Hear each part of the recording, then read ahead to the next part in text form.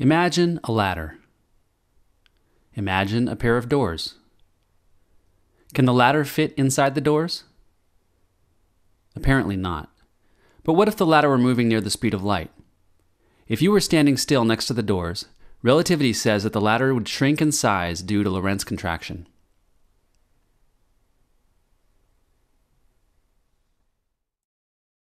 Now it fits inside the doors, even if just barely.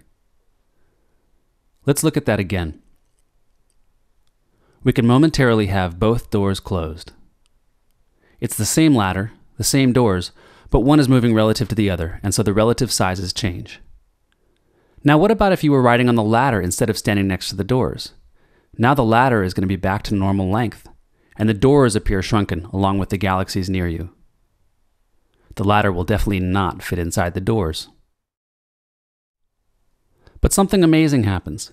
The far door opens first, then the near door closes. Things don't look the same, but there's no contradiction. Let's see that again. The far door event happens first, then the near door event. From the door's point of view, the opening and closing events are simultaneous. But from the ladder's point of view, the far door event happens first. And if you're traveling even faster, the doors can shrink down very close. The closer they get, the more out of sync the doors become. And now let's imagine instead of a ladder, we have a cosmic ray, the fastest moving objects we know. It's traveling extremely close to the speed of light. And let's say the doors are 6 million trillion miles apart, like the two neighboring galaxies shown here. For the cosmic ray, that distance is shrunk down very small, and the time of travel is very small. Yet it arrives at the far door about a million years into the future.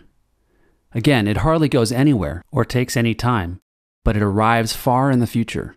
And instead of a cosmic ray, what if it were light?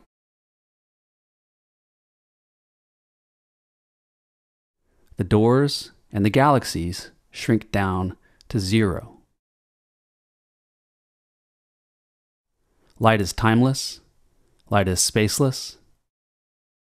Even though it appears to move from place to place at the speed of light from your point of view, from its own perspective, there is no place to move to and no time to do it in.